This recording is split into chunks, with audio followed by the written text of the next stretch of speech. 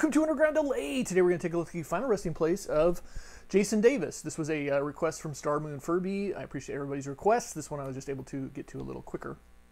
But uh, Jason Davis was born in 1984 in uh, Salt Lake, Utah. He's the grandson of a billionaire industrialist, Marvin Davis, who is uh, buried not very far from uh, Jason Davis.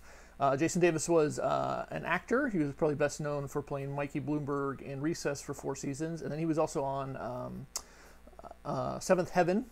And uh, he was probably more better well known as he started getting older for his substance abuse problems. He was arrested in 2011 for possession of controlled substance. Uh, then he passed away uh, at the age of 35 in 2020 from a fentanyl overdose.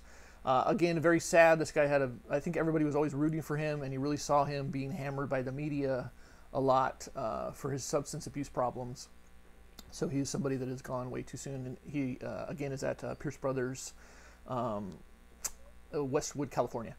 Like, subscribe, tell me who else you want me to see, and I appreciate everybody watching Underground LA.